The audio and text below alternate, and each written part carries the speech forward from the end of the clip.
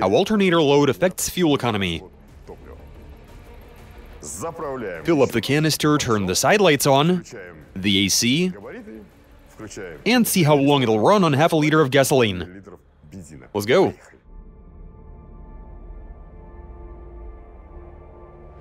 Either follows.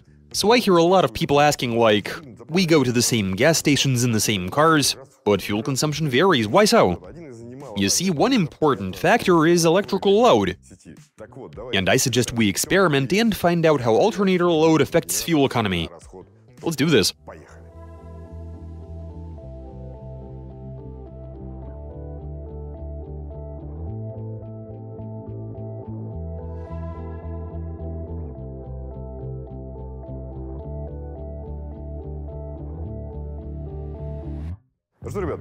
Right, so for the sake of precision, we'll be using this sort of a fuel injector cleaning system, which I am sure you recognize as such. I'm gonna put in some gas, start the engine, allow it to warm up, that's to ensure consistency. At which point we turn it off, flush out whatever is left in the fuel rail, pour in precisely 500 milliliters of gasoline, start the car and allow it to run with no additional load. We'll see how long it's able to last, in the process we might measure the voltage, and once all of the gas is used up, we'll have a look at the timer. I'd say that's a good place to start.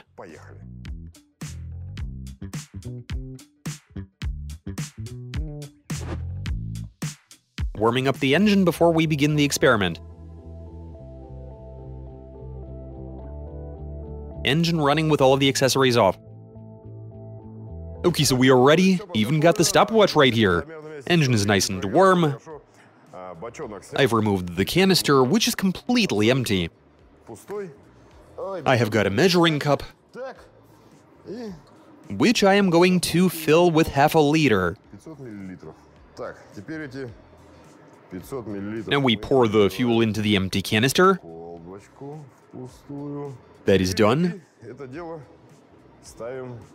and now I am going to fit it to this. Open the tap. So this operates at a pressure of 3 kilos. There we are, it's all good. Open up the valve over here. Has it equalized? Yes, it has. There we are. Now we start the engine and the stopwatch. Here we go. Engine is running, none of the accessories are on, so there's no additional load on the alternator. Doors are closed, nothing is pulling any electricity that shouldn't be. And let's allow it to run. While we're at it, we can uh, go ahead and check on the alternator, see how it's feeling. See what sort of voltage it's putting out. Never done that before. And it's looking good, it's nice and healthy.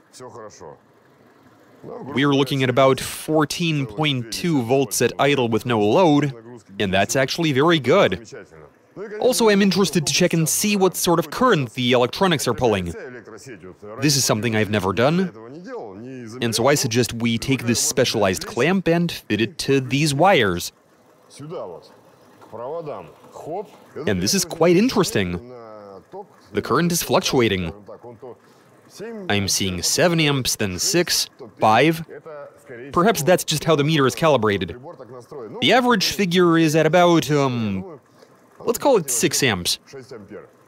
Remember that. And what I'm really interested in now is to see how long the engine lasts. I was always curious about this actually. This is a garden variety passenger car with a 1.6 liter engine working at idle. We'll allow it to run while we just wait.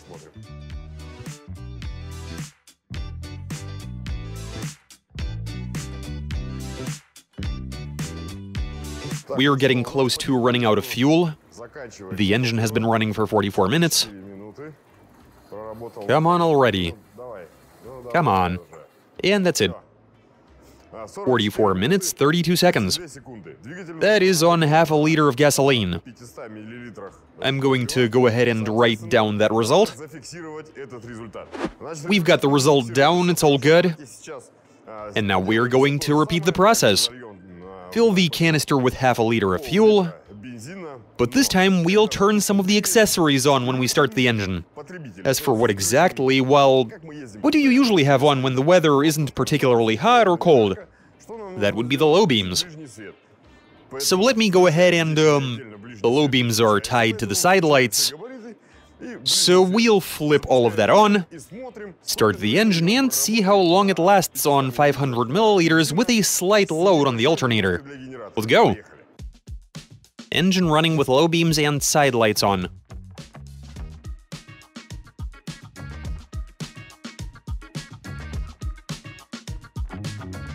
So check this out. What's interesting is that all we have on are the headlights, with the engine at idle, the alternator is under a bit of load. I'm seeing 14 volts on the meter, so the alternator is putting out 14 volts, but obviously the rev count is low. And another thing we did was measure the current, which I am super curious to try now. Let's have a look. What can I tell you? These are some quality light bulbs. The current is barely any higher. I'm watching it fluctuate 7...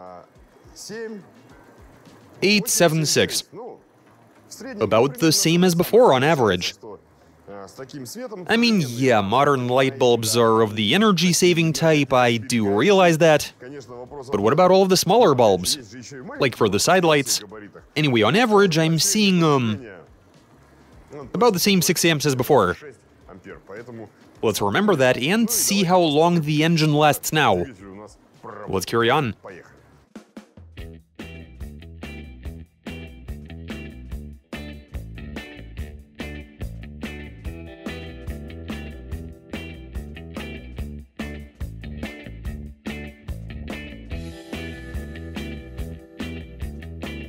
Come on, just a bit more. And that's a wrap. Holy cow. Isn't that something? Look at that result. 39 minutes, 35 seconds. Okay, so... 39, 35? Now we're going to fill the canister with half a liter again, but this time we go all out with the accessories. Switch on the headlights, fog lights, the high beams rear window defroster, heated mirrors, everything that we got in there to put as much load onto the alternator as we possibly can. That in turn will put load onto the engine. Anyway, fill up, switch everything on, start the engine and see what happens. Engine running with everything on minus AC. I'm going to switch everything on. Heater fan on full, defroster, there we go.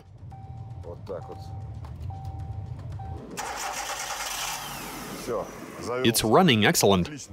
High beams, one seat heater, the other seat heater, rear defroster, windshield heater. I think I got most of the main ones on. Gloss over the stereo because not every car has one. Otherwise, I think that covers everything. And now we wait and see how long it lasts. Now I'd like to have a look at the current. Oh, for some reason the load has noticeably dropped. Like almost down to zero. What about on this wire?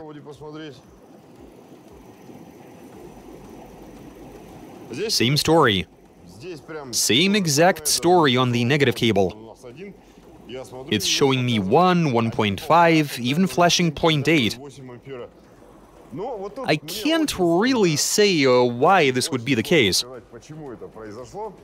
If there are any good electricians out there, uh, let us know what's happening here, because I don't really know a whole lot about electronics.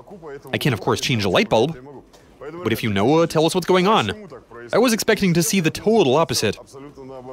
But now let's wait for the fuel to run out and then check to see for how long the engine ran. Okay, the wait begins.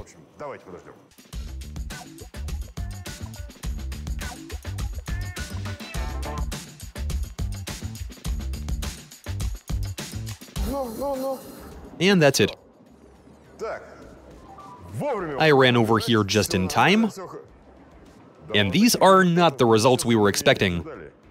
So this is actually pretty interesting. When we turned everything on, I'd say about 15 or maybe 20 minutes later, the rear defroster and the mirror heaters switched off. But whatever, I mean, they did their thing, and they were loading the alternator for at least some time. But with everything else switched on, minus the hazard lights, we left those off because they would have driven us crazy with the blinking. Anyway, the engine ran for 33 minutes, 13 seconds. That is a marked difference. So with all of the accessories on, the alternator was loaded up good. Of course, the reason we are using this fuel-injected engine is that the ECU is going to be constantly keeping the revs uh, where they should be, according to how it was programmed. It's going to be adding a bit of extra fuel into the mix to maintain stable engine operation and uh, keep it from stalling. Okay, 33 minutes, so those are the results so far. But check this out. I've noticed this many times myself. You get into someone's car and there are plugs, sockets, gadgets everywhere. Converters, all sorts of batteries and such. Anyway, I suggest we run the accessories and also a light garland with just some regular automotive grade bulbs for a bit of additional load. Start the engine once again and see how far we can get with all of the extra stuff on half a liter of fuel. I expect there to be enormous load this time. Okay, let's get to it. Better not blow the alternator. Engine running with everything on with additional load minus AC.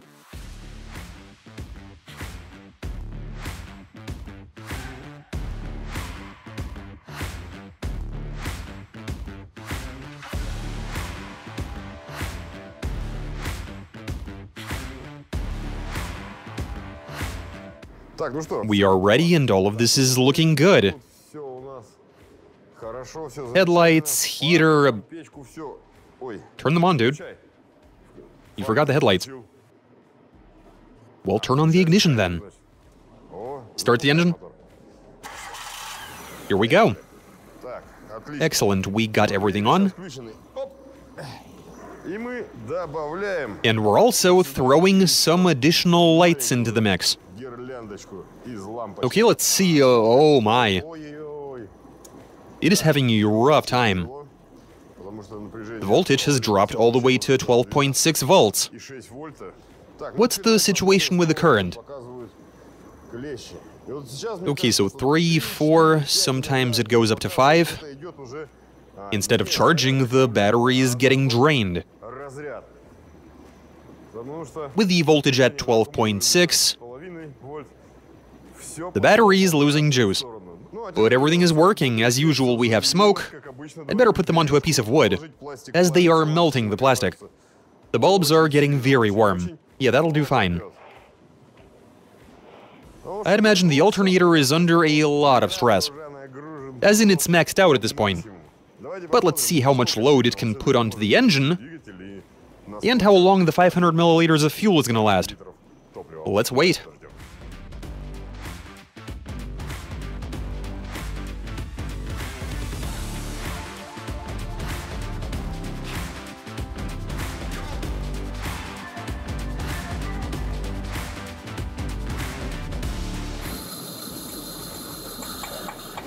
And that's it. It has stalled. Let me get this unhooked. Because it was having a rough time even with the engine running. And here's the situation. With all of that running, with the extra lights and all of that, the engine was able to run for 28 minutes 23 seconds. Okay, well, so in this configuration, it lasted for even less. I'm going to go write this down.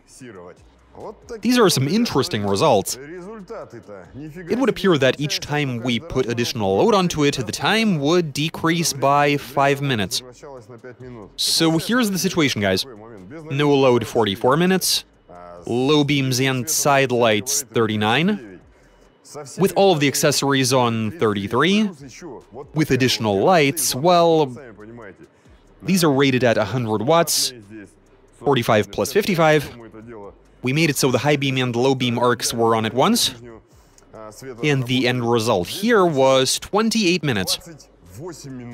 So from 44 we got down to 28. And that tells us that there's some redundancy built into the alternator. And it still has quite a lot to give, even with all of the accessories on. Yeah, whatever the case may be, we're not quite finished yet. As we all know, uh, cars like this that don't have a lot of power, they lose a bit of it with the AC on. So here's what we're gonna do. Before we were running the engine with the low beams, the fog lights on, I suggest we go with that configuration plus air conditioning and uh, see how much extra load it exerts. We flip the AC on as well as the interior fan, fill up the canister, turn the side lights on, the AC, and see how long it'll run on half a liter of gasoline. Let's go. Engine running with everything on, including AC.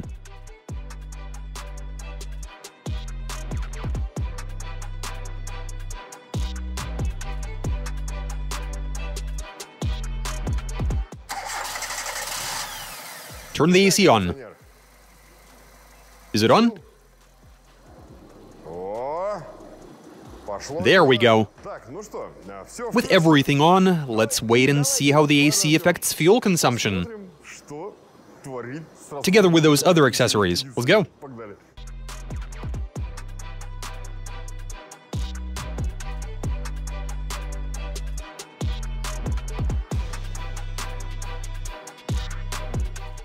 So here's what's up. With the AC and the headlights on, side lights, low beams, fog lights, and of course the AC, the engine lasted for 25 minutes and 56 seconds. So those are the results. The AC beat the alternator in terms of load on the engine. You can see all of the results up here, and you saw how this all went down. That's it for this video, make sure to sub, comment, uh, alright, catch you later.